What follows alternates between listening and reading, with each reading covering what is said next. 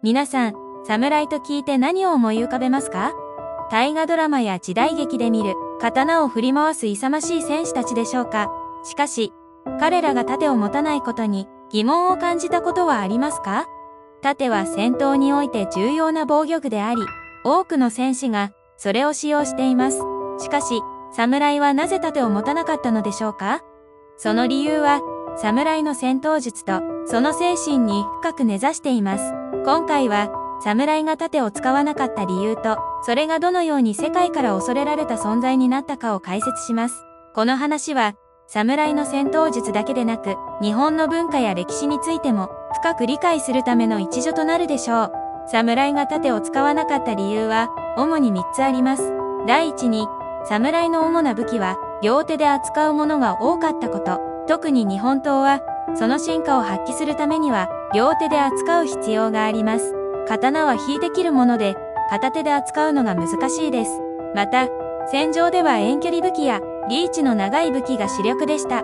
これらの武器を効果的に使うためには、両手が自由であることが必要でした。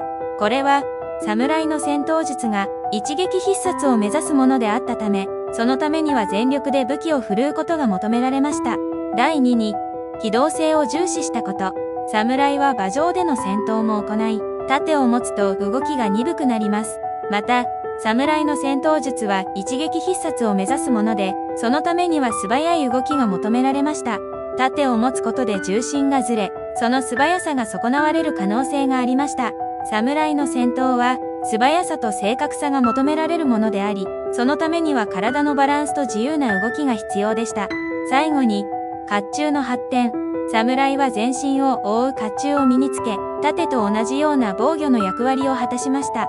この甲冑は、刀や矢から身を守るだけでなく、敵の攻撃を受け流す役割も果たしていました。甲冑は、侍の体を全方向から守るためのものであり、それにより、侍は盾を持つ必要性を感じなかったのです。これらの戦法は、海外から見れば恐ろしいものでした。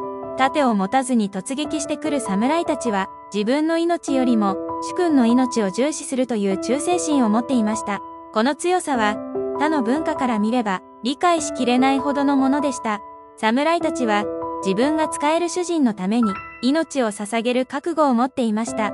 何か過ちを犯したり、敵への敗北が決まろうものなら、責任あるいは武士の意地として切腹すらするんですから、海外からしたらかなり恐ろしい光景だったことでしょう。侍の戦法は、時代を経て合理的に進化していきました。その進化や武士道精神が他の文化からは、畏怖の対象になったというのも興味深いですよね。現代ではさすがに命を捧げるとまではいきませんが、私たちの道徳心にも、侍の武士道精神が受け継がれていると思うと、ちょっと強くなれる気がします。今回の内容は以上です。侍の戦闘術とその精神について、少しでも理解が深まったでしょうか侍の戦闘術は、その時代の状況と、侍自身の精神から生まれたものであり、それは今も私たちの心に生き続けています。いつもご視聴ありがとうございます。よかったら高評価やチャンネル登録で応援のほどよろしくお願いします。それでは、良い一日をお過ごしください。